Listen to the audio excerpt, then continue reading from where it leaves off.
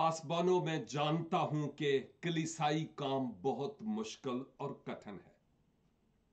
लेकिन नस्ल नौ को, नौजवानों को खुदावंत के पास लाने के लिए और कलिसिया में लाने के लिए लाजिम है कि उनको वक्त दिया जाए, उनकी काउंसलिंग की जाए, उनकी बात, उनके मसाइल सुने जाएँ उनकी हेल्प की जाए, लेकिन बड़ा बनकर नहीं।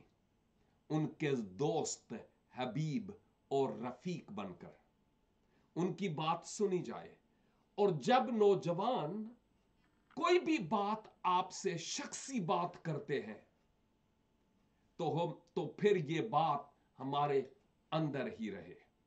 ये बात किसी दूसरे से शेयर न करें, क्योंकि यूँ दूसरे नौजवानों का भी ट्रस्ट टूटेगा और आपसे अपने दिल की बात नहीं कर पाएँगे। और अगर किसी एक नौजवान को आपने अपने ट्रस्ट में ले लिया तो फिर वो नौजवान दूसरों को भी आपकी तारीफ़ करते हुए बताएगा कि आप उस खादम से मिले, वो आपकी सही तौर पर रहनुमाई कर पाएगा।